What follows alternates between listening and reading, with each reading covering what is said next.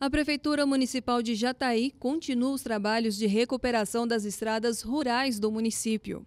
Em parceria com os produtores da região, as secretarias de Desenvolvimento Rural, Obras e Planejamento Urbano estão asfaltando mais de 2 mil metros da JTI 401, conhecida como a Estrada da Igopa, no trecho da subida da Ariranha. As secretarias continuam realizando importantes obras de infraestrutura, como a recuperação das estradas rurais que cortam o município. Este é um resgate dos compromissos firmados durante a campanha pelo atual prefeito, que reconhece a importância do trabalho do homem do campo.